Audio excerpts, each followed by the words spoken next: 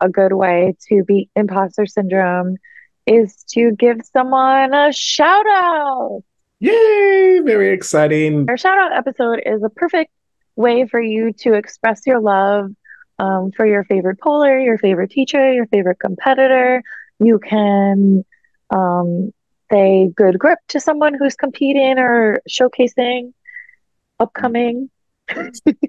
shout out a studio that's killing it out there that you just want to shout out their name maybe like she said your favorite instructor or maybe just a pole friend who's like oh my god i can't get this in i'm never going to get it. And you just want to give them some words of inspiration on a platform with others to listen.